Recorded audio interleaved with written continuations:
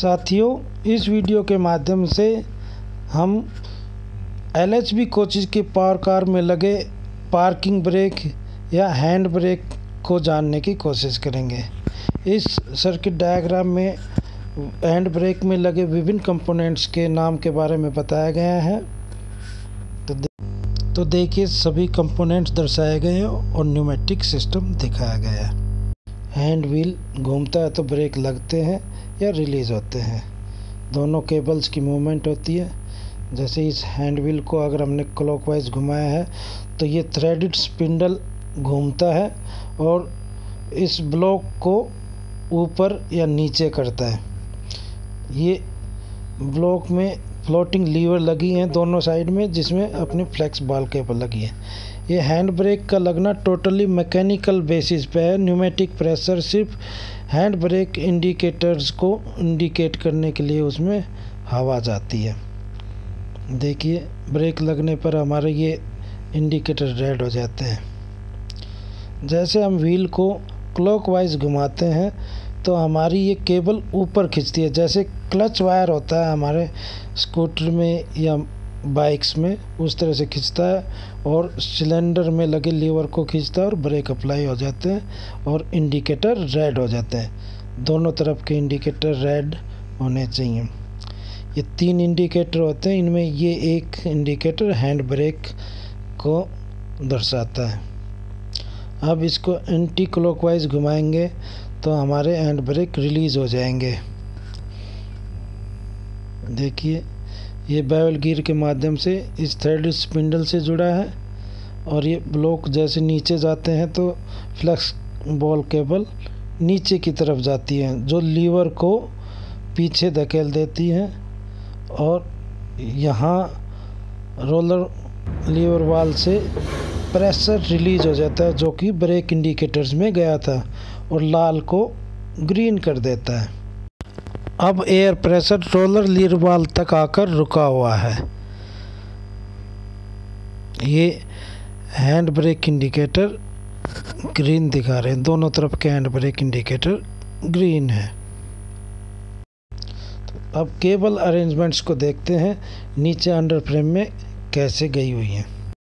ये गार्ड वान में लगे हैंड ब्रेक यूनिट से दोनों केबल नीचे की तरफ़ आई हुई है अंडर पे में जो सामने दिखाई दे रही है।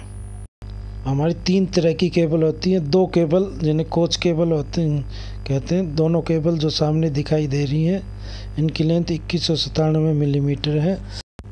दोनों केबल आगे दो छोटी और बड़ी केबल से जुड़ी हुई हैं। देखिए, दोनों केबल गार्ड गार्डवान से नीचे की तरफ़ आ रही हैं और आगे जा रही है, जहाँ एक केबल जॉइंट के माध्यम से शॉर्ट और लॉन्ग फ्लैक्स बॉल केबल से जुड़ी हुई हैं। ये दोनों पिन दिखाई गई हैं। देखिए, ये शॉर्ट और लॉन्ग केबल्स हैं 4024 और 2333 मिलीमीटर की। ये केबल एक आउटर इनर केबल की तरह होती है, जैसे एक क्लच वायर होती है। इसमें केबल आउटर में स्लाइड करती है। और ये लीवर के माध्यम से जुड़ी है। ये केबल एंड है। ये लीवर है। जो सिलेंडर में लीवर आगे पीछे होती है तो ब्रेक लगते हैं या रिलीज़ हो जाते हैं। ये एक फोर्क एंड है, जिसमें केबल का एंड लगाया गया ये बाल जॉइंट है। यहीं तक आउटर रहता है। बाल जॉइंट तक आगे केबल का अंदर का हिस्सा रहता है। केबल वायर रहती है। देखिए, जैसे लीवर खींचता है तो हमारे ब्रेक कैलिपर चलते हैं और ब्रेक लगते हैं। हैंड ब्रेक, व्हील नंबर एक और व्हील नंबर सात पर लगे हैं। दो व्हील पर ही लगते हैं हैंड ब्रेक, जैसा कि दिखाया गया ये दिखाए गए हैं केबल जॉइंट्स पिन के माध्यम से जुड़े ये हैंड ब्रेक इंडिकेटर। तो चलिए अब देखते हैं कि हैंड ब्रेक यूनिट में न्यूमेटिक सिस्टम कहाँ से कहाँ है देखिए, ब्रेक पैनल में एक छः लीटर कैपेसिटी का एक एक्चुअल रिजर्वायर लगा है। ये जो कि सिर्फ़ हैंड ब्रेक इंडिकेटर्स के लिए है। इसमें देखेंगे दो पाइप जुड़े हुए हैं। एक पाइप ब्रेक पैनल से है, दूसरा पाइप ये सीधा रोलर लीवर वाल में जाएगा, अंडर फ्रेम से होता हुआ।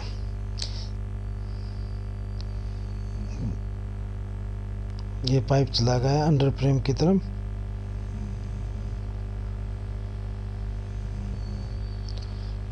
यहाँ से बैंड हो गया और यहाँ से सीधा अंडर फ्रेम से, पूरे अंडर फ्रेम के नीचे होता हुआ। ये आप सामने टी दिखाई दे रही है। ये रोलर लीवर वाल से आई है और दोनों साइड के इंडिकेटर्स की ओर चली गई है। यहीं से दोनों इंडिकेटर में जाता है। दोनों साथ साथ चल रही हैं। देखिए, अंडर फ्रेम में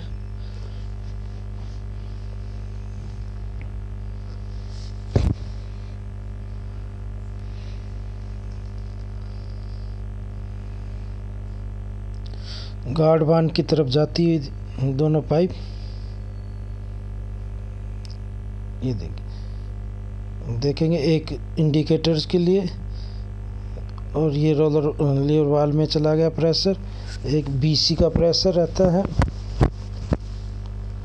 पीबीसी ये दोनों पाइप हैं, आपके सामने दिखाई दे रही हैं, जो कि रोलर लेवर वाल में जुड़ी हुई है, नीचे से आई है। तो चलिए अब देखते हैं, कुछ डिफेक्ट्स के बारे में देखते हैं कि अगर क्या डिफेक्ट है तो क्या करना चाहिए। हमारे जैसे हैंड ब्रेक कई बार जाम हो जाते हैं लीवर जाम हो जाती है या केबल टूट जाती है तो कैसे करें? देखिए, ये सामने दिखाई दे रही है, कई बार केबल का एंड टूट जाता है। ये इस तरह से रिलीज़ होने चाहिए हमारा ब्रेक ये केबल जॉइंट है जिन्हें कभी खोलना पड़ता है। ये फोर्क एंड ऑफ़ लीवर है। अगर ब्रेक जाम हो जाए तो इस पर हल्का सा टैप करें तो रिलीज़ हो जाने चाहिए। कई बार केबल फंस जाती है तो यहाँ टैप करने से खुल जाती है। नहीं तो ब्रेक सिलेंडर का नट क्लॉकवाइज घुमाने से भी जैसे हम ब्रेक पैड चेंज करते हैं तो रिलीज़ हो जाते हैं गैप बन जाता है उनमें। पैड और डिस्क के बीच में। ये नट सिलेंडर जिस टाइप के होते हैं अलग अलग टाइप के अलग अलग नट होते हैं। देखिए, ये अलग टाइप के सिलेंडर दिखाए गए हैं। किसी का बाहर है तो किसी का अंदर है। ये देखिए, दोनों बाहर है। ये अंदर की तरफ़ है। साइज़ भी अलग है इनका।